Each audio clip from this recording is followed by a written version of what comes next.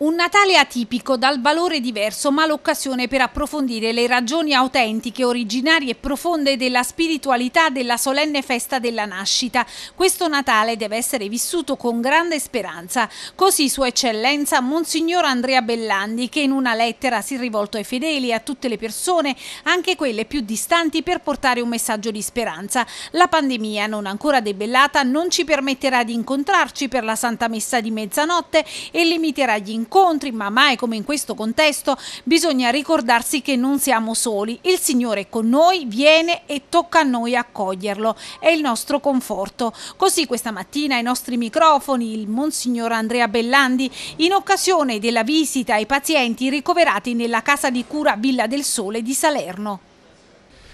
Ma credo che siano le persone più bisognose di sentirsi dire un messaggio di speranza, di, di conforto e, e, cosa meglio del Natale. Insomma, credo che questo Natale, dentro il buio che stiamo vivendo, rappresenti una luce importante e quindi direi soprattutto per coloro che stanno più nella sofferenza.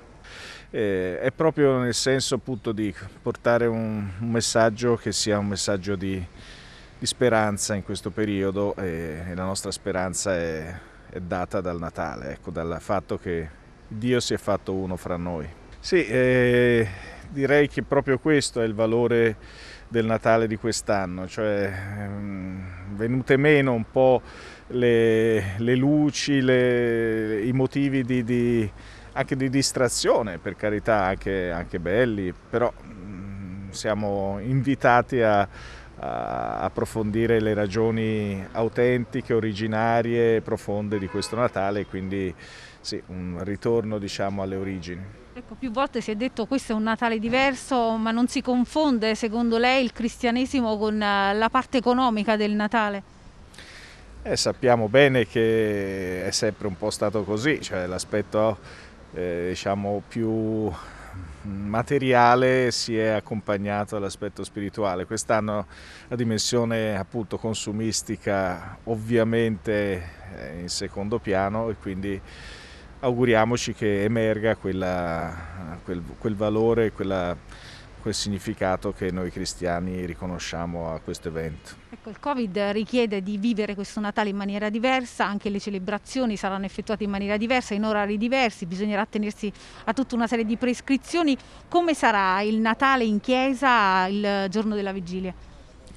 È un sacrificio che ci è chiesto di fare, eh, credo che le i sacerdoti abbiano sempre risposto in modo molto attento e molto direi rispettoso delle, dei distanziamenti e di, delle norme richieste.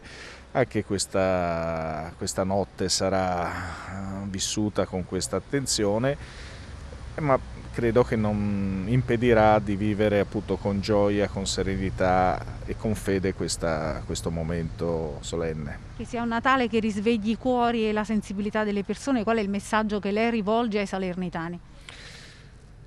Speriamo, speriamo perché ci sono motivi di speranza, oltre che quelli dati da, dagli aspetti diciamo, medici, la, la, nostra speranza poggia su appunto, il fatto che non siamo soli, ma è il Signore che si accompagna a noi.